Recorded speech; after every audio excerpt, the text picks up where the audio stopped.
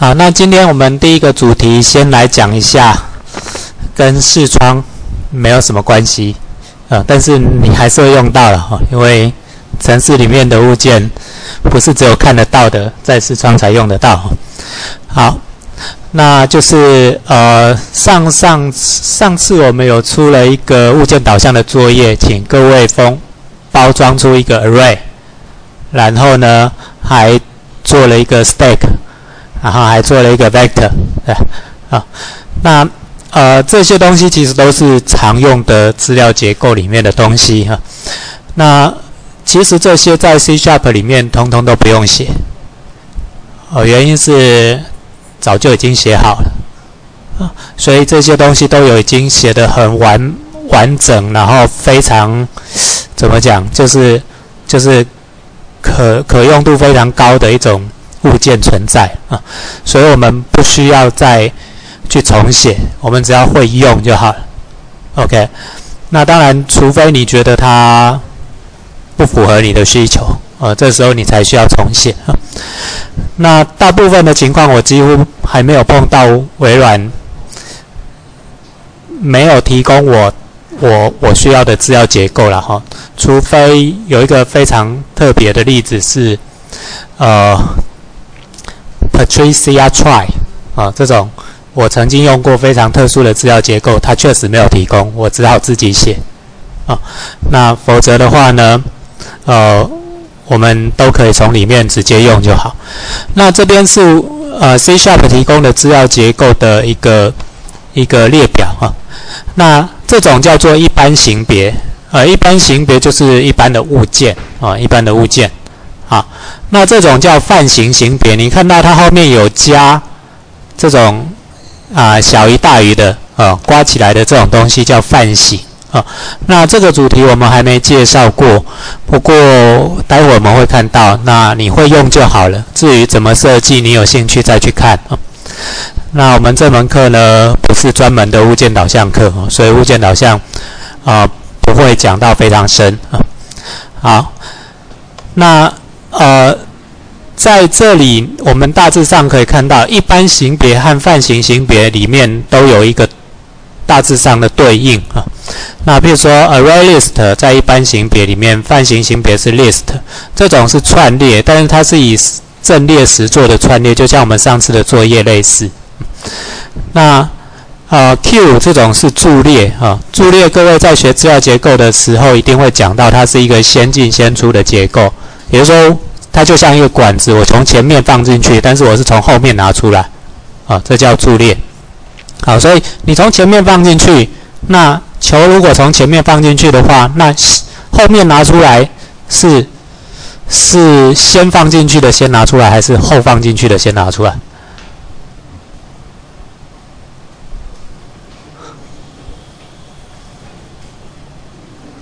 举个例子好了，我先放一号球进去，再放二号球进去，再放三号球进去。现在我从后面拿出来的时候，会哪一号球先出来？一号球，对不对？因为我是从后面嘛，啊，那个球滚过去，它不会超越前面那个。OK，啊，因为那个管子刚好跟球一样大。OK，这时候呢，球我放进去之后，它从后面拿出来的时候，它是排顺序的。所以一号球会先出来啊，那堆叠就不一样了。堆叠是一个只有单边有有洞的管子，OK。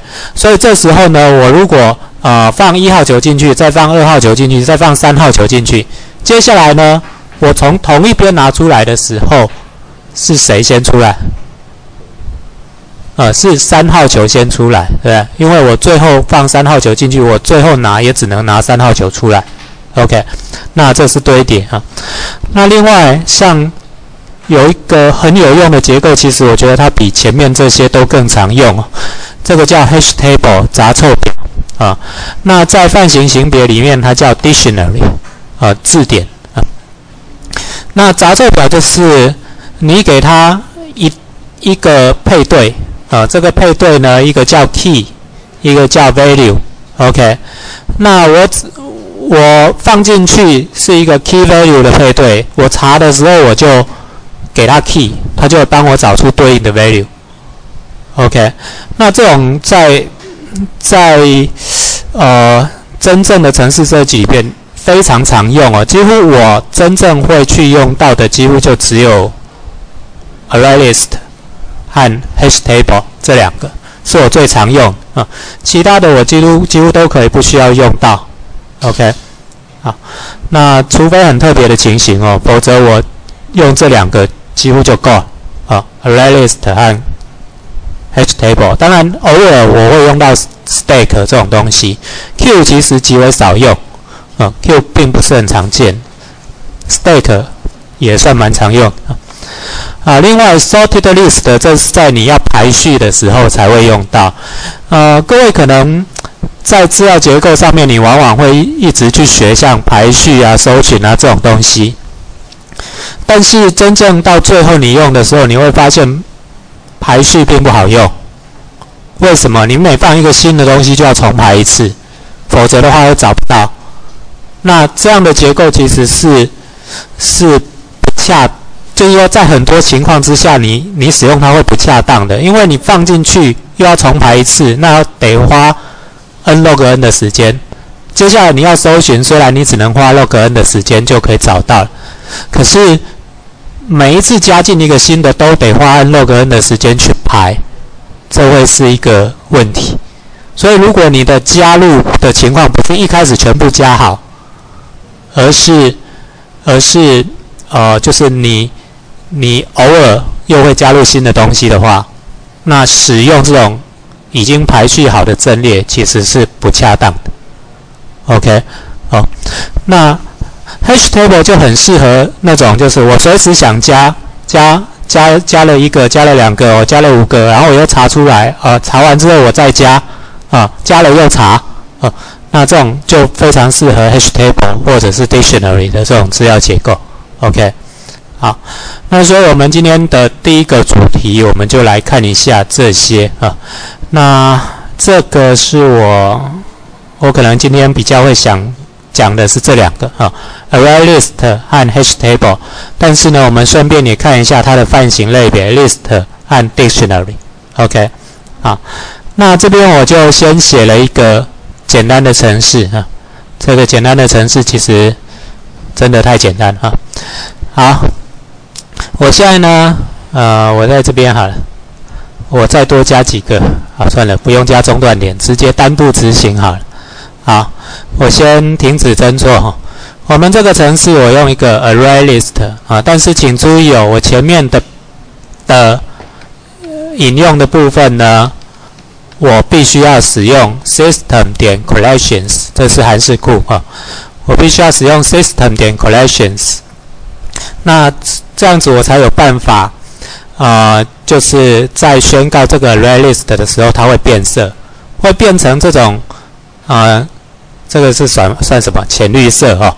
那它就就代表说这个物件存在啊。这是 Visual Studio 里面它的一个视觉化提示啊。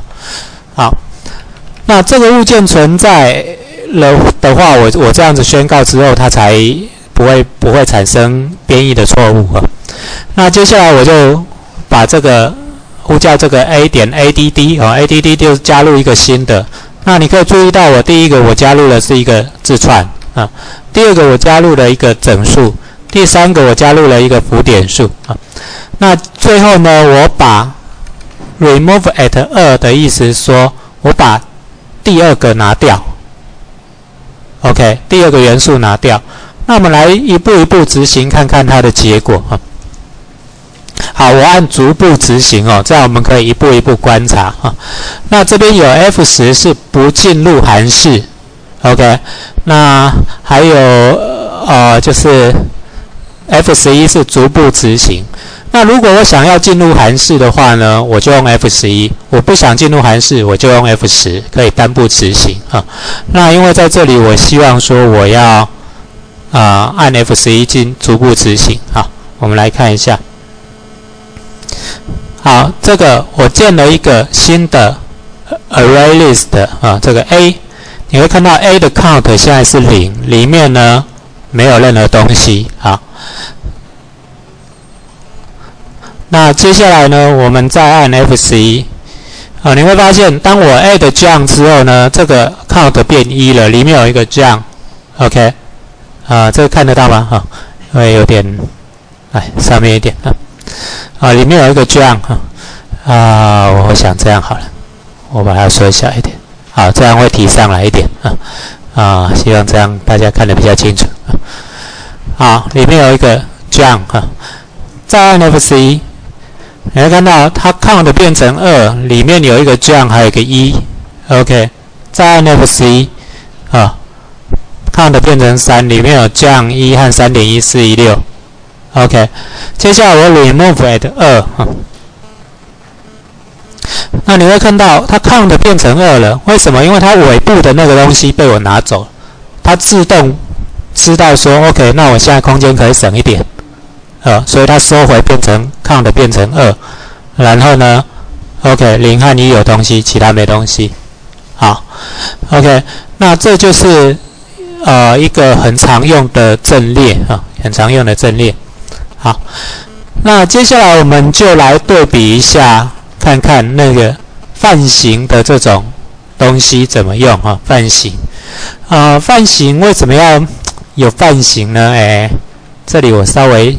举个例子啊，好，我们先用这个同样的这一个物件哈，A，我取得它里面的东西，那你会发现 A 可以它里面有哪些函数呢？就是 ArrayList 里面它有 add add range 啊，add range 就是一次加一堆东西啊，binary search 就是进行二分搜寻啊，但是你必须要给它一个比较器，就是我到底要用。啊，什么样的方式开始找？那 clear 就是把整个阵列清除掉哈，clone 就是复制一个阵列哈。clone 其实，啊，clone 这个字哦，在生物上面很常用啊，那各位可能比较少用到。它的意思是自体繁殖，呃，就好像是呃呃那种单单性生殖的那种生物，然后。它一只可以变两只的那种啊，叫 clone 啊，自体繁殖啊。好，contains 就是看看有没有包含某个物体、某个物件啊。compare copy to 是把它复制一份啊，到另外一个地方啊。那 count 是指它目前有几个东西。equal 是比较比较两个阵列是不是相等啊？那 get enumerator 这是用来取得一些。寻回器哦，当你要用 for each 的这个方式去取用物体的时候，就必须要用 get enumerator 这种东西哈。好，那这后面我们可以看一下 index of 就是啊，看看说某个某个物件是不是在阵列里面，而且它是从 star index 开始开始找啊。那 insert 是找一个。就是把一个物体加进去这个阵列哈，那而且它是加在某个索引值上面，所以这个音色的最好不要常用。为什么？因为它的速度会慢。晓得为什么它速度会慢吗？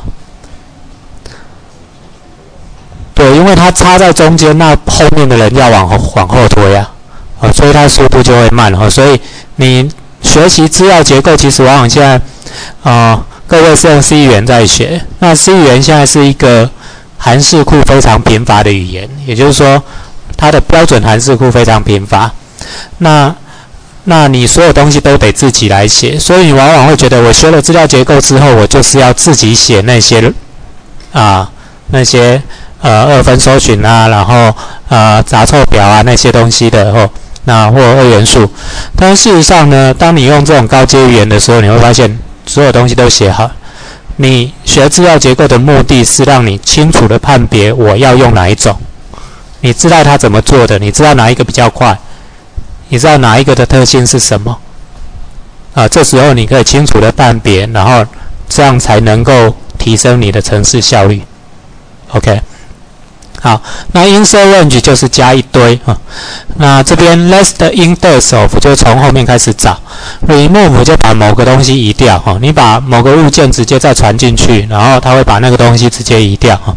那 remove it 就是把某个位置的物件移掉，remove range 就是呃移移除一堆东西哈。那 reverse 是把整个阵列反转啊。那 set range 啊就是啊复制，从这个复制复制一个部分的集合出来啊。sort 就是做排序啊。那这个也要给一个比较器。好，那 think root 哈，这个就比较复杂了哈。啊，各位应该还没修作业系统对？啊，如果你修到作业系统，你会发现说，啊，现在的现在的电脑，因为它讲求速度的关系，所以它会有一个机制叫做多工啊。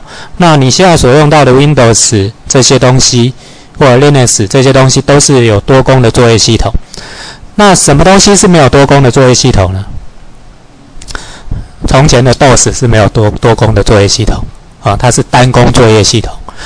那在一个有多工作业系统的环境底下，很多城市会同时在跑，很多城市同时在跑。如果你今天是扮演作业系统的角色，或者是说你们这些很多个城市是 thread，thread 是啊中文翻成台湾翻成啊执行序啊，那大陆翻成县城。啊，那 thread 这种东西呢，它可以很多个 thread 共用一个物件或者是一个资料结构，一个变数，这时候会产生冲突。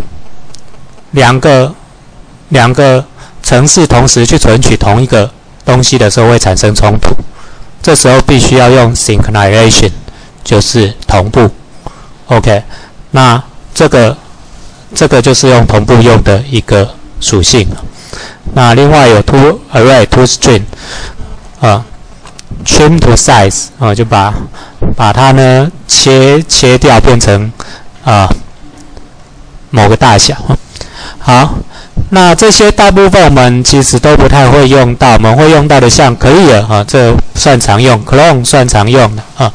那接下来呢，呃，就是 add 了哈，因为是阵列，所以就 array list，所以会有 add，然后呢，再就是 remove，啊 remove 或 remove it，啊这些，好，所以呢，OK，我们大概是这个样子哦，就是你如果想知道它里面有什么函数，你可以试着用这种方法去试试看。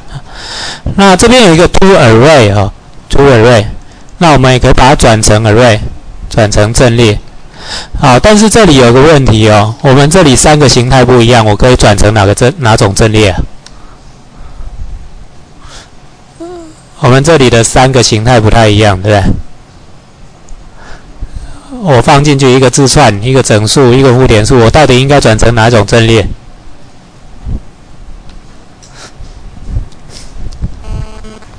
这里就麻烦了，对不对？但是事实上是可以的，为什么？因为 C Sharp 里面它所有的物件，通通都所有的东西都是物件，所以它们都有一个共同的上层元件叫 Object。所以我可以这样子，啊，我可以这样子转，啊，让它转成一个真正的阵列，好，然后呢，我们再把它印出来。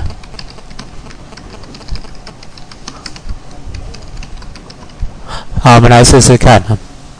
那这时候就要停止侦错了啊。我一样再从头执行。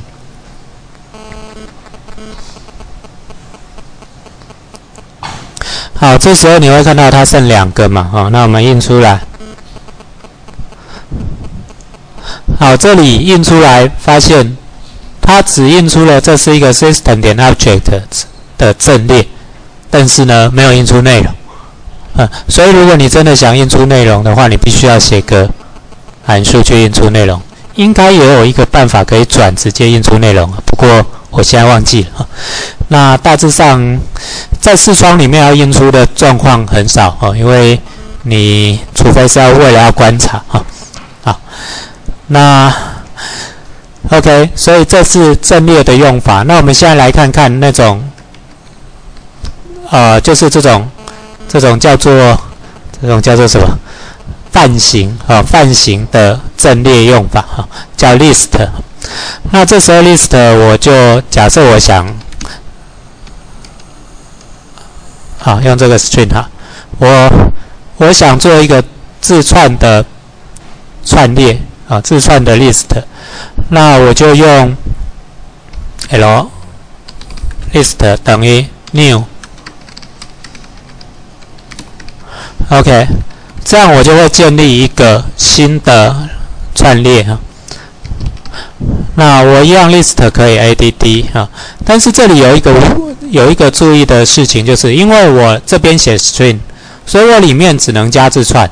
如果加别的东西的话，就会产生错误啊。所以我这边可以加像刚刚啊这样加，好这样啊，Mary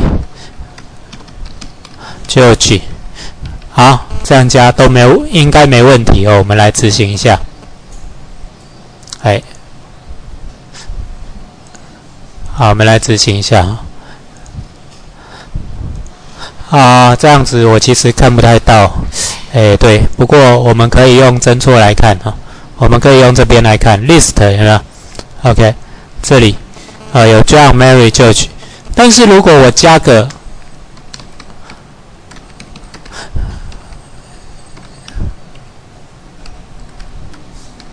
加这个会怎么样？我们来试试看。啊，你会发现他说最符合多载的方法有一些无效的因素，也就是说参数形态不对。好，参数形态不对，为什么？因为这里是浮点数而不是字串。那我如果真的要把这个东西加进去怎么办呢？各位觉得？一个办法是这样哦，那我就把它变成字串加进去，对不对？好，这是一个办法。不过哈，呃，这样的办法不是很好，对不对？因为到时候你取出来它还是个字串，你得先把它转成浮点数，你才可以用。OK，那这个办法行得通啊，但是不算太好。如果我今天真的要加浮点数进去，那我应该取我会加的这些元素的共同上层元件。好，在物件导向的概念里面，它的共同上层元件，那这些物件的共同上层元件是什么？object 啊，所以我应该用 object。OK，如果我真的要加，同时加字串和浮点数的话，我这里应该用 object。那但是当我用了 object，它不就回到上面的这个类似 array list 的这种状况？那我每次取出来都是取出 object。那它到底是浮点数还是什么？我还得再转一次，我才会清楚啊。那不过这样是可以可以的哦，这样行得通哦。所以我们再来执行一次看看啊。好，这样行得通，OK。然后呢，你可以看到 list 里面有五个东西啊，一个是 John、Mary、George 之后有三点一四一五九，然后呢，这个是自串的，这个是浮点数的。啊，两个都可以放在里面。好，那这种是 list 啊，串列啊。那所以这里我们有看到有 array list 和 list。那请各位呢先来试试看。那我就把它放在这一篇里面了。这一篇是在韩式库篇的资料结构里面啊。那我这边啊，在尾端的地方。我加一个范例。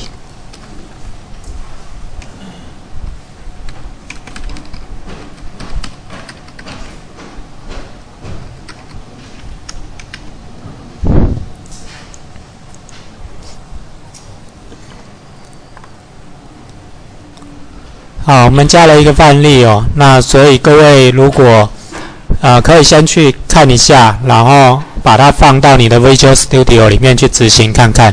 呃，确定你了解这种容器的物件哈，至少针对 array list 和 list 是怎么用啊？那之后的程式呢？其实，在视窗里面，比如说我们想写个字典，我要怎么做？